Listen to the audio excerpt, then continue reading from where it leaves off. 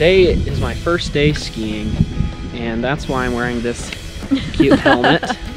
I don't know, do you always wear helmets when you ski? Um, I think it's a good thing to do. Okay. Well, so that's what we're doing, and I crashed several times, but now I made it down my first hill successfully without crashing. And it's only his second time going down the hill, so Well, it's pretty much natural. yeah, I'm pretty much an Olympic skier. My next my next thing will be going down the uh, is it called a ski jump where they like have you seen it? They just you like fly like hundreds Yeah. of feet. So that's what I'm moving on to. The black diamonds are just like too childish for me at this point.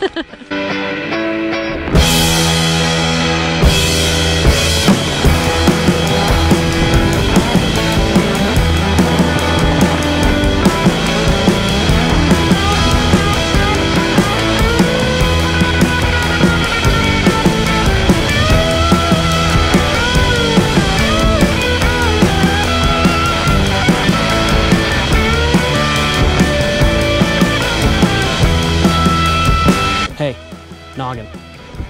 Did, did that hit you in the forehead or did that hit you? okay, like it just didn't make the whack my face it didn't your make the plastic click I thought I was going to. Let's try again. you don't need to do it that hard. Well, you gotta commit a little bit.